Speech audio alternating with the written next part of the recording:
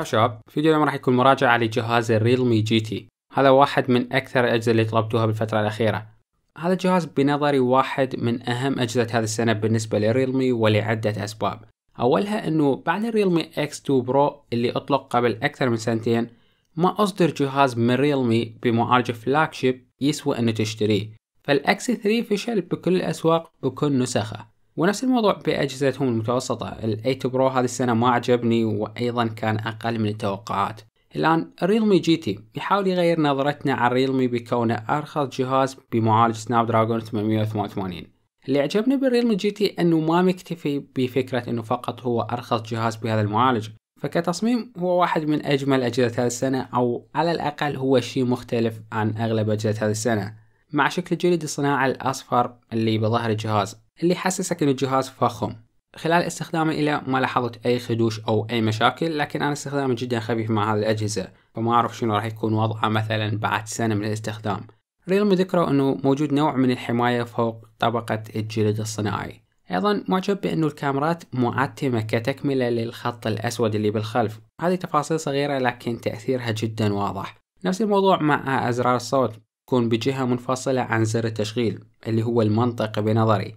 وهذه الأزرار عليها لمسة اللون الأصفر كتكملة لفكرة الاهتمام بالتفاصيل. الجهاز عليه منفذ headphone 3.5 نادر هذه الأيام وعليه stereo speaker بصوت جيد. فكتصميم Realme GT جدا عجبني خاصة بوزنه الخفيف وأشوف حجمه مثالي بالإيد. الآن عندي ثلاث مشاكل مع هذا التصميم. خلينا نذكرها بشكل سريع. المشكلة الأولى أنه هذا الشكل اللي أمامكم هو لأعلى وأغلى نسخة. 256 جيجا بايت ذاكرة و12 جيجا بايت RAM. أو على الأقل هذا هو الوضع حاليا. أما النسخة الأرخص اللي أغلبكم ممكن يفكر يشتريها فراح تكون بشكل ثاني من الخلف اللي هو تصميم مكرر برأيي وقبل فترة راجعت جهاز من Oppo سعره 190 دولار وأول تعليق كان على هالفيديو أنه الجهاز يشبه ال Realme GT لهذه الدرجة هو مكرر. لكن بالنهاية هذا شيء يخص مظهر الجهاز وممكن أنت من الأساس ما عاجبك اللون الأصفر اللي هنا أو راح تخلي cover بكل الأحوال. أيضا بالمناسبة هذه النسخة الأرخص اللي ذكرتها هي إلى الآن ما توفرت بالعراق. فخياراتك الوحيدة حاليا هي نسخة الجلد الغالية. راح نشعل هذا الشيء بوقت لاحق. الآن المشكلة الثانية كانت مع البصمة اللي أسفل الشاشة. البصمة نفسها كأداء كانت ممتازة. فعليا واحدة من أسرع البصمات اللي جربتها بعد ال S21 Ultra وبصمة ال ultrasonic فكأداء عشرة على عشرة. لكن أشوف أنه مكانها مو منطقي فهي جدا منخفضة. أكثر من اللازم.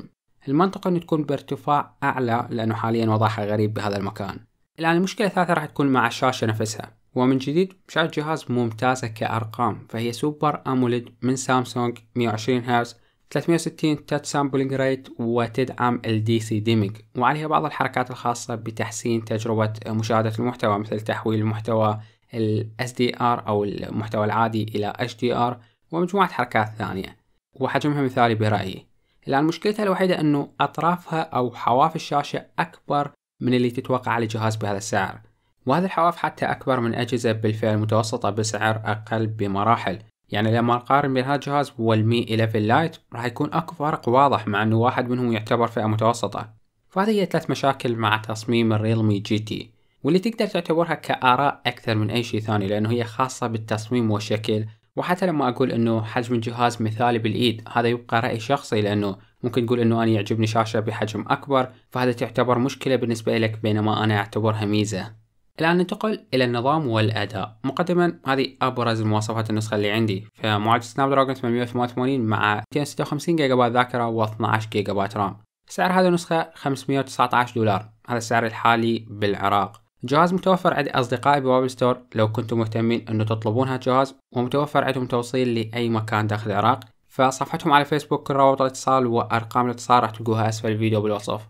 وموجود نسخة ثانية من ال Realme GT بذاكرة ورام أقل وأكيد سعر أقل. المفروض كان يكون سعرها 419 دولار. أقول المفروض لأنه هي إلى الآن ما توفرت رسميا بمنطقتنا أو بالعراق. فكأنه هذه واحدة من الحركات اللي تتبعها الشركات حاليا إنه توفر أعلى وأغلى نسخة حتى تدفع أكثر سعر ممكن وبعد أن تدخل مبيعاتهم يوفرون بقية النسخ. واللي هو شيء أكرهه صراحة. الآن كأداء مع النظام فكان ممتاز. ما واجهتني أي مشاكل خلال استخدامي. animation جيدة أداء جيد. بشكل عام واجهة Realme اللي هي نسخة من واجهة Oppo جيدة باستثناء سرعة وصول التحديثات. هذه المواضيع إلى الآن ما ضبطوها.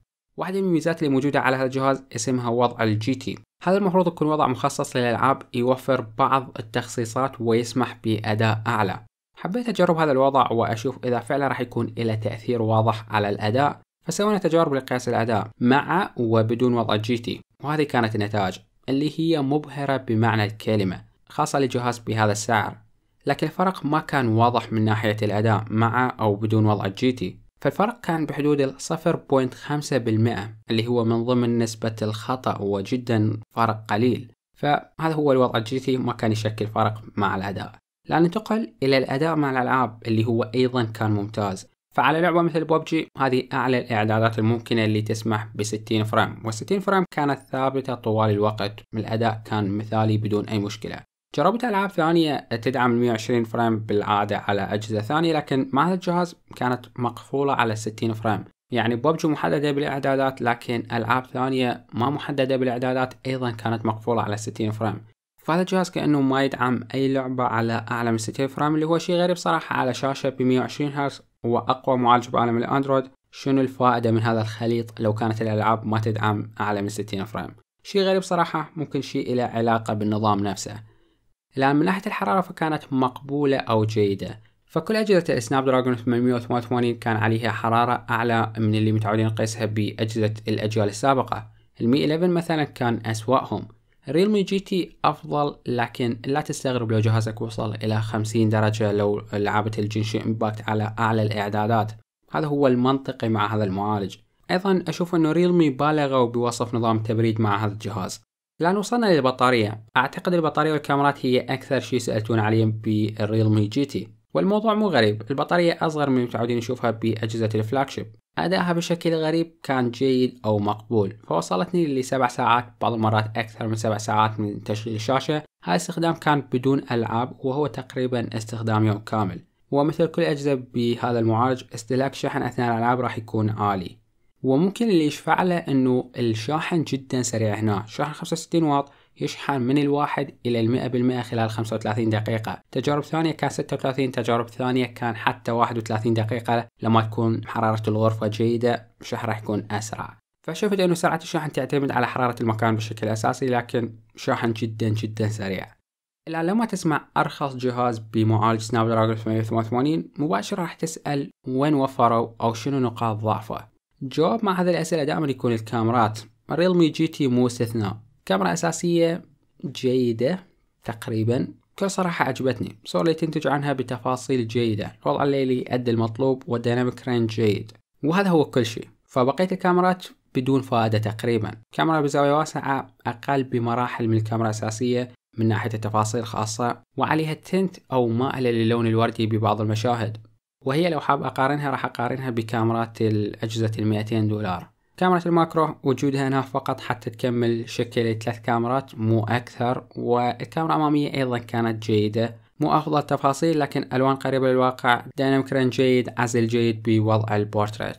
فهذه كانت الكاميرات اللي تقدر تختصرها بكاميرا أساسية وكاميرا أمامية. وهذا الوضع دائما يتكرر انه لو ما يكون كل شيء ممتاز الأشياء اللي بالعادة نقول عليها مقبولة هتصير بنظرنا سيئة لأن كل شيء حواليها راح يكون أفضل. لكن بالنظر أنه الكاميرات راح تكون مقبولة لو أخذتها على أساس أنه موجود كاميرتين فقط بهذا الجهاز كاميرا أساسية وكاميرا أمامية وهي راح تكون أقل من اللي تتوقعها بالنسبة لي 519 دولار. هذه أفضل استنتاج عندي لهذه الكاميرات. okay الآن خلينا نتفلسف. Realme GT حاليا بدون منافس لو أخذنا الموضوع كعتاد فموجود جهاز ثاني متوفر رسميا بمعالج Snapdragon 888 بهذا السعر أو سعر مقارب لأنه منافسة هو ال K40 وال K40 Plus ما أصدرت رسميا بالشرق الأوسط. لكن موجود ال Poco F3 اللي هو ب 325 دولار لنسخة ال 128 جيجا بايت واللي بنظري هو إلى الآن الملك لو حاب تشتري أفضل أداء بأرخص سعر. Poco F3 ما تغير شيء مع ال Realme GT وأعتقد المنطقي من Realme إنه كانت وفرت النسخ الأرخص من هذا الجهاز اللي تبدي مع 400 دولار. هذه النسخة راح يكون جدا سهل إنه تنصح بها مقابل سعرها. لكن 518 دولار أكو فرق 200 دولار عن ال Poco F3 وما أعتقد راح تحصل هذا الفرق من ناحية تجربة الاستخدام. وبكل صراحة ما أنصحك تدفع هذا الفرق إلا لو عاجبك شكل الجهاز. فالريلمي GT خيار جيد. بوكو F 3 خيار ممتاز. فهذا كل شيء كان بهالفيديو أتمنى عجبك الفيديو. إذا عجبك خلينا like اشترك بالقناة إذا ما اشترك. رابط الشراء أسفل الفيديو بالوصف. شكرا لأصدقائي بباب ستوري اللي ساعدونا بهالفيديو. شكرا لكم على المشاهدة. ونشوفكم بالفيديو القادم إن شاء الله.